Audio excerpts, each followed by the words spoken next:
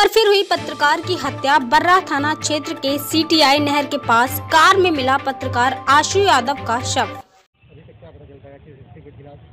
देखिए, बर्रा थाने पे ये सूचना दी गई थी कि यहाँ एक लावारिस में कार खड़ी है।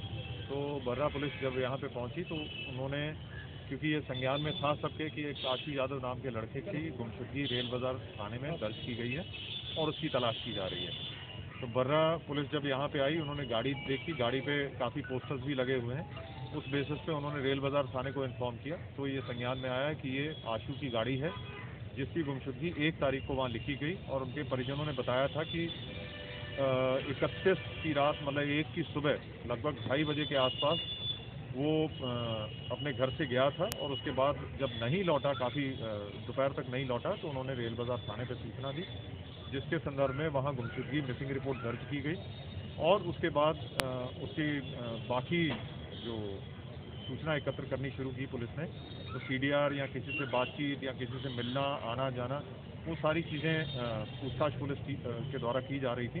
तब तक ये वाली सूचना आई तो ये दोनों घटनाक्रम किस तरह से घटना हुई है, इसके लिए तीन टीमें हमारी पुलिस की लगी हैं। जो सीसीटीवी फुटेजेस हैं, वो निकाले जा रहे हैं, जो सीडीआर है, वो निकाली जा रही। और यहाँ पे बॉडी को देख के प्रथम दृष्टा जो हमारी फॉरेंसिक की टीम है, उसने यही बताया है कि लग लग रहा है कि स्ट्रेंगुलेशन हुई है, लेकिन बाकी सारी चीज़ें पोस्टमार्टम में क्लियर होंगी पंचायतनामा पोस्टमार्टम में क्लियर होंगी। हमारा प्रयास है पुलिस टीमों का, चाहे वो फॉरेंसिक की टीम है, सर्वेलेंस की टीम है और सिविल पुलिस की टीम है कि इस पूरे घटनाक्रम को हम जल्द से जल्द वॉकआउट करें और जो भी अगर इसमें कोई कल्प्रिट्स हैं उनके खिलाफ सख्ती से कार्रवाई की जाए उनकी पहचान की जाए उनकी अरेस्टिंग की जाए और उनके खिलाफ सख्ती से कार्रवाई की जाए। ये संज्ञान में ये आया है कि ये आ, मीडिया आ, एक न्यूज़पेपर या वीकली है या वो देखना पड़ेगा। उसका ब्यूरो चीफ के पद पे भी है और शायद कोई मीडिया पोर्टल भी इसका अपना चलाते हैं।